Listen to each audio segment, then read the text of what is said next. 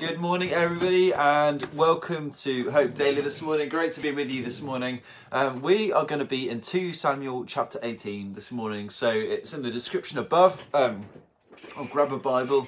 Um, and please say in the comments if you're watching this morning, just say, yeah, good morning, and let's be church family together as we come before the Lord uh, to hear from Him and to listen to Him. And I pray that this encourages you today, especially on this theme of power.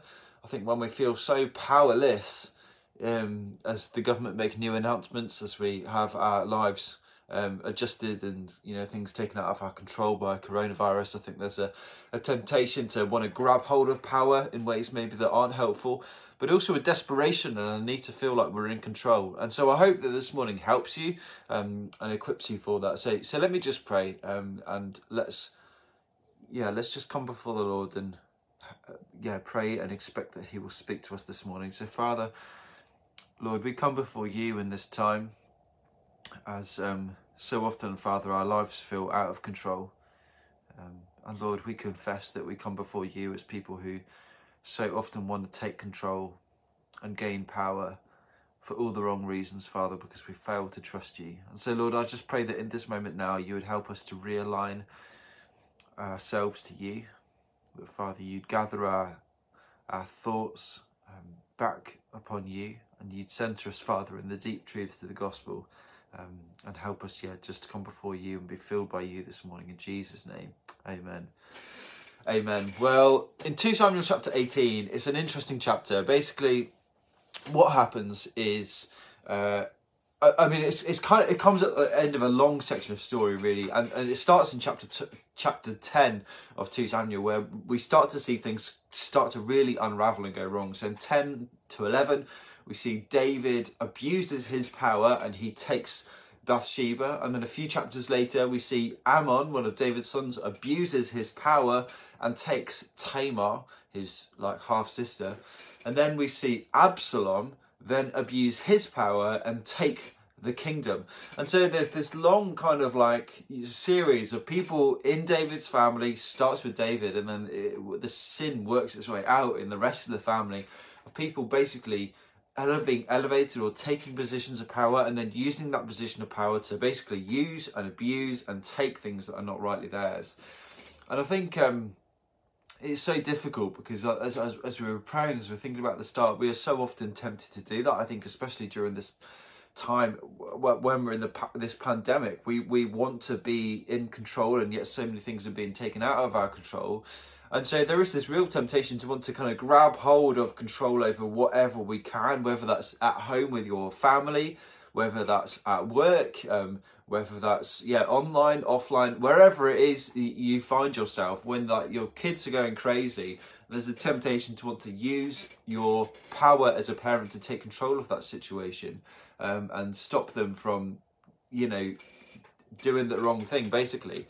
Um, but so there's a very there's a subtle difference between good ways to use power and bad ways to use power. And I think parenting is a great example because often the, the best way is that we use our power and authority to bring about and basically to manifest love because we love our kids and we want the best for them. And it might be the same with, uh, you know, people that you have responsibility for at work or um, maybe your your spouse or maybe I don't know um, any other kind of situation you end up in where you, you end up in a position of power or authority you can either use that for love or for self-gain and I think so often we're obviously tempted to use it for self-gain that's what we see in in this in this chapter um, I think power and control are supposed to bring about an expression of who the father is and he uses his authority and power to, to love, whereas so often we're tempted to use it to control for our own gain. And that's the, kind of what we see in this chapter. So Absalom, he he elevates himself to this position of king, and he just names it for himself he goes and takes over the kingdom. And then in this chapter, we see that he goes, um, well, David comes against him in battle against Absalom, and they're fighting together. And we know that Absalom is riding around on a mule because um, of something that we see later on. He's riding around on a mule, which is what Jesus rode into Jerusalem. Don't know if you remember, he rides a mule into Jerusalem to show that he is the king because it was kind of like a royal thing to ride on a mule. So he's riding this mule around like he is the king when he isn't actually the king, trying to take over and trying to take control. And then it says that um, basically, as he's riding along in the midst of this battle, and the battle's in a wood, in a woodland, um, that let me just find the verse. Uh, oh, where is it? So they're fighting in a forest anyway, and um, David has instructed that they shouldn't kill Absalom, but then he does unfortunately die. Oh, here it is, verse 9. Say, and Absalom happened to meet the servants of David. Um, Absalom was riding on his mule. Remember, he shouldn't be riding a mule, but he was because he thought he was the king. And the mule went under thick branches of a great oak, and his head caught fast in the oak, and he was suspended between heaven and earth, while the mule under him went on.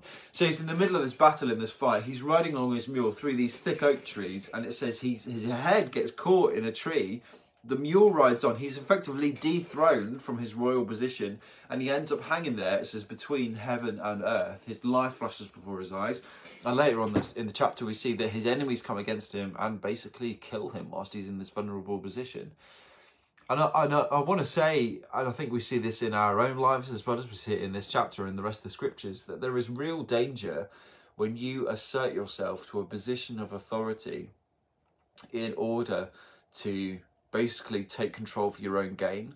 Like that's what David does, and it ends incredibly badly. That's what Amnon does, and it ends incredibly badly. Now Absalom does it here, and it ends incredibly badly. When you try and take power and control and authority that isn't yours and use it in corrupt ways, not to love like the Father uses his power and authority to love, but to bring about your own gains, then it often ends up not working out how you intended or how you ever want it to be. It ends up in this kind of downward spiral where things go out of control. But I just want to remind us this morning that there is another way in which you can have a sense of power and control in your life. And that's not by trying to elevate yourself to the position of king, like Absalom did, by riding around a mule to assert his authority, but by coming under the authority of the King of all kings and the Lord of all lords. And when you come underneath the authority of Jesus, rather than trying to take your own take control of your own life and create your own authority when you uh, come under his authority it brings about a power manifested in your life that is like nothing else you could ever experience. When you go to the New Testament and you read through the book of Acts and you see, you know, the apostles, you see James and John in those early chapters, and they're taking authority of demons, they're taking authority of sickness, they're taking authority in many ways over earthly authorities. They get thrown into prison and they break out again. An angel comes and sets them free. It's amazing to see the power and authority that is there in those guys' lives. And that power and authority in their lives doesn't exist because they have somehow tried to elevate themselves to that position so that they can take control over their circumstances the power and authority that they have in their life comes because they have submitted to the King of all kings and the Lord of all lords. And by letting Jesus take control of their lives, which wasn't easy, you remember they were petrified, but they let him have control. As they let him have control of their lives, they find that all of a sudden they end up in this position of power and authority where they're seeing great things happen not for their own self gain, but for the love of God and for the love of people and for the building of a kingdom. And so I pray for you guys this morning that, you know, in the midst of this crisis and this pandemic, as it feels like things are out of control and we'll be tempted to elevate ourselves, you know, to positions of power and authority, to take power and control, control over sometimes other people. It might be your kids, it might be your spouse, it might be people at work, it might be friends, it might be family, it might be people on the internet. You want to exert your power and your control and somehow try to make things feel better. But actually, that's a subversion of what you actually need. What you actually need to feel control in this moment is to come to the one who is in all control, submit yourself to him, and as you become part of his plans and his purposes, then you end up in the position of control and power and authority by default because your name is hid in his. Your, your life is hid in his, the one who is on high, the King of all kings, the Lord of all lords. And when you're swept up in the plans of, and purposes of God, then you no longer have to worry about trying to assert your own authority because you're living in and through and for his authority. And if you don't do that, there is a real danger like Absalom here, one day you'll be riding along on your, you know, your metaphorical mule, whatever that might be, your self-asserted authority, and one day you'll be caught by your head and someone will come and kill you. Only joking, it probably won't happen quite. It won't happen quite like that, but it will catch you out in the end.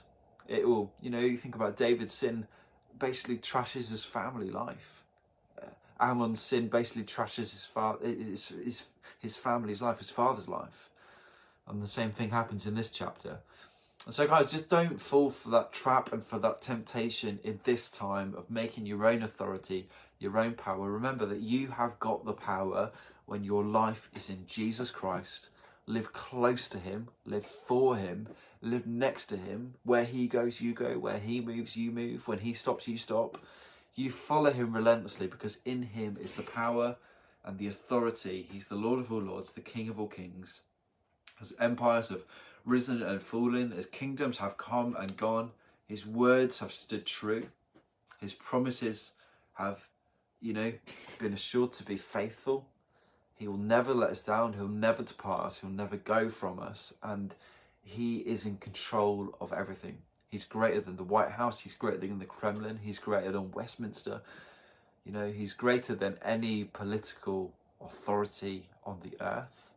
And when your life is in him, then you will not no longer feel that sense of anxiety and that things are out of control that we often all feel. But to get to that place, we have to keep coming back to Him. So let me just pray for us this morning. Father, I thank you that in you we can escape that rat race of trying to take control of our own lives and create our own authority and run round on our own metaphorical mules, ex- ex- exalting ourselves as kings in order to find control. Father, we know that it doesn't work. And Lord, we repent of times that we've done that. We say sorry, Father, and for the mess that we have made sometimes of our own families and friends and people at work and people we know. And so, Lord, we now, in this moment of prayer, just submit ourselves to your authority. Lord, you are the one that's in control. You are the Lord of all lords. You are the King of all kings. You are the one who is holding the whole universe in your hands. And so, Father, we give this day to you today. And we pray, Lord, your will be done, your kingdom come. Lord, would you use us today in your authority, in your power, just as you used James and John all those years ago, Father, to do mighty things for your kingdom. In Jesus' name we pray. Amen. Amen. Well, guys, go and have an awesome day today, doing whatever you're doing. And remember, you have got the power when your life is in Jesus Christ and nowhere else. Don't be tempted to make it by yourself. Don't be tempted to exert your own authority and your own power. Go and find it in Jesus Christ. He is the one that you need. Have an awesome day, and I will see you soon.